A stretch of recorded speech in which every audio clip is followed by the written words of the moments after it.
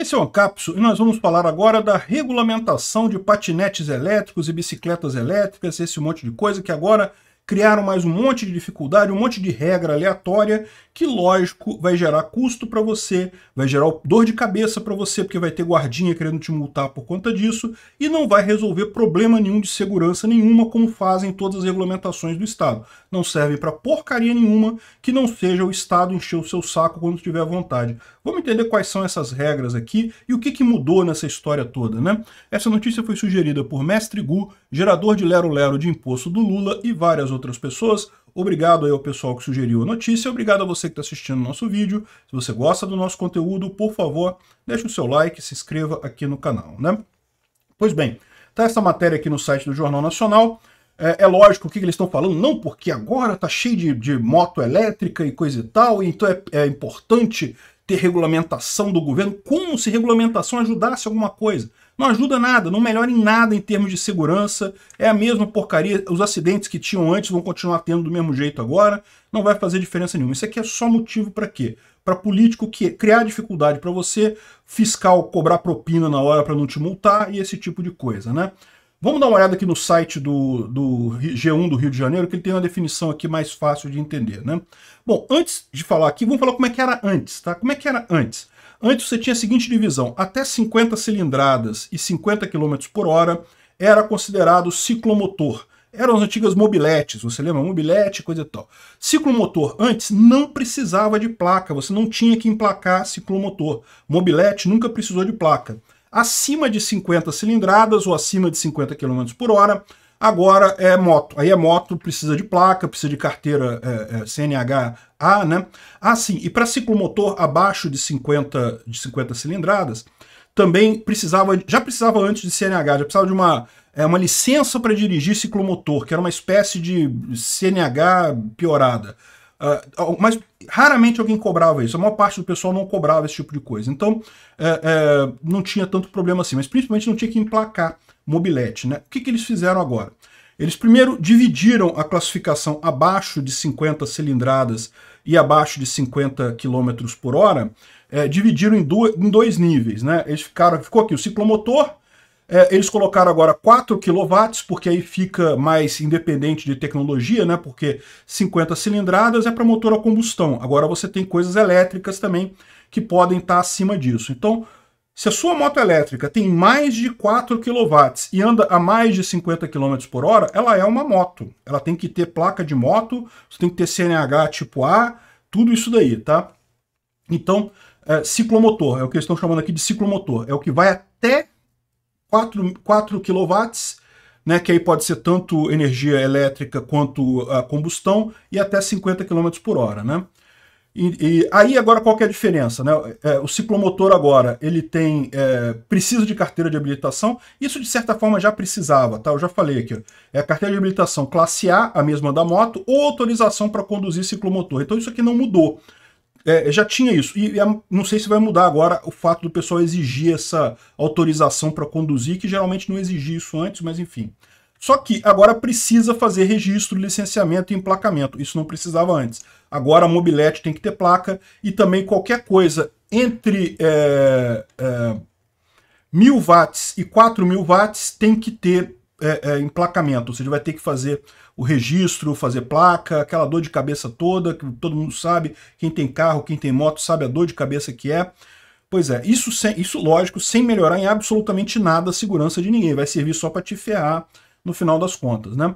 Então parece que os estados vão ter o prazo para estabelecer as formas de licenciamento disso e até dezembro de 2025 isso tem que ser emplacado. Né? Só que aí agora eles criaram uma categoria ainda menor que a categoria de é, bicicleta elétrica e também de equipamentos de mobilidade individual. Então, essas duas, essas duas coisas aqui são basicamente a mesma coisa, tá? Só que é, é, uma bicicleta, o outro são as outras coisas todas. Patinete, monomotor, é, enfim, qualquer outra coisa, né?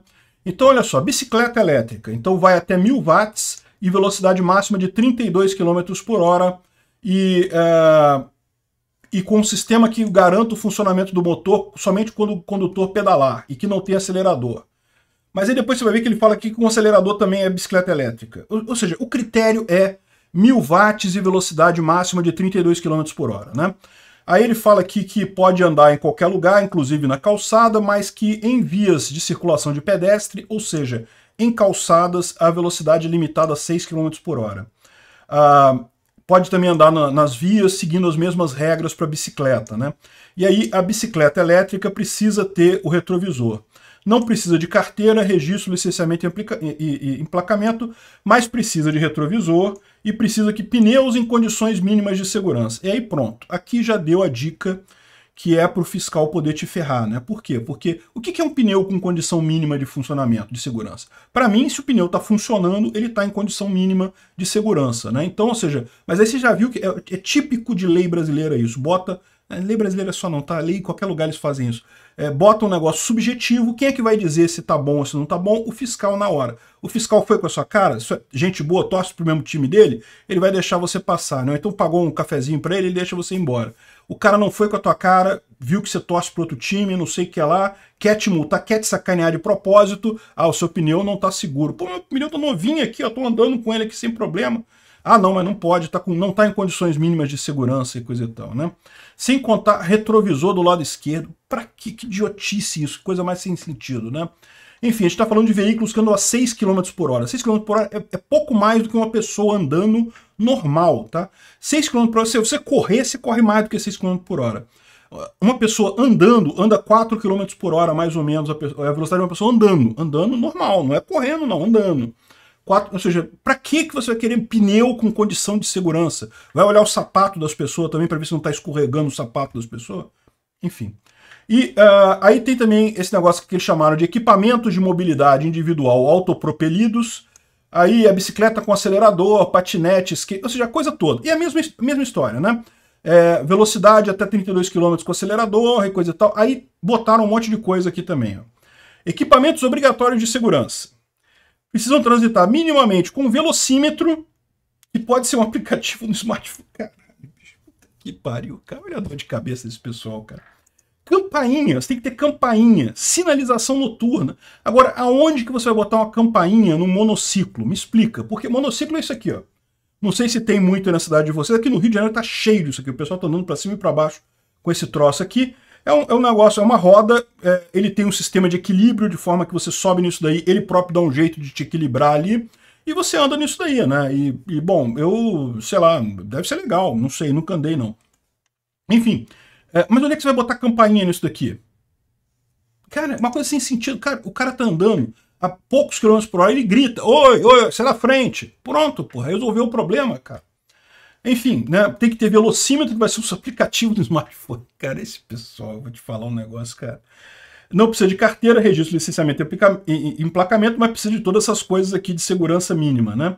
É, é, igual a bicicleta, ele pode andar em áreas de pedestres, em, em é, calçadas com velocidade máxima de 6 km por hora, pode andar em ciclovia e coisa e tal, e etc. Né? É, enfim, é, é, ou seja, criou essa outra categoria. Você tinha categoria de, de ciclomotor, agora você criou uma outra categoria abaixo, que eu não sei por que cargas d'água eles dividiram aqui, bicicletas elétricas e equipamentos de mobilidade individual autopropelidos, que também entra bicicleta aqui. Ou seja, basicamente a mesma coisa, não muda nada daqui para cá. A questão só é que é, é, só são esses dois níveis, né? Ciclomotor até 50 km, o resto até 32 km, e aí é, tem essas dores de cabeça embora não tenha carteira e não tenha emplacamento, tem mais um monte de regra. E agora, para ciclomotores, entre 32 km por hora e 50 km por hora, tem emplacamento agora, vai ter uma dor de cabeça para todo mundo, encheção de saco, grana para fiscal, separa a grana para dar a propina do guarda ali na frente. Enfim, é o padrão de governo, né? Vai resolver alguma coisa em termos de segurança? É lógico que não vai mudar porcaria nenhuma. Só vai piorar a situação para todo mundo. Vai ficar tudo mais complicado, tudo mais caro, a segurança vai continuar a mesma, as pessoas morrendo do mesmo jeito, sem diferença nenhuma. Por que, que eles fazem isso daqui? Bom, pelo motivo simples que aqui no Rio a impressão que eu tenho é que eles querem salvar a empresa de ônibus. As empresas de ônibus aqui no Rio estão perdendo passageiro, o pessoal está indo de Uber, está indo de patinete, que seja, muito melhor do que andar nos ônibus de merda aqui no Rio. Mas como os ônibus de merda aqui no Rio é tudo ligado a prefeito, a político aqui, o pessoal está tentando salvar as empresas inventando essa história toda aqui de regulamentação. E lógico, multa, dinheiro, grana, é, é para isso que serve o Estado. Só para encher o saco. Zero segurança, zero melhoria em nada, mas encheção de saco vai ter. Obrigado por assistir o vídeo até o final. Além de curtir, compartilhar e se inscrever no canal, considere se tornar patrocinador com valores a partir de R$ 1,99. Clique no botão Seja Membro abaixo para saber as condições e vantagens de patrocinar o canal. Mais informações sobre o nosso projeto, visite nossos sites indicados na tela.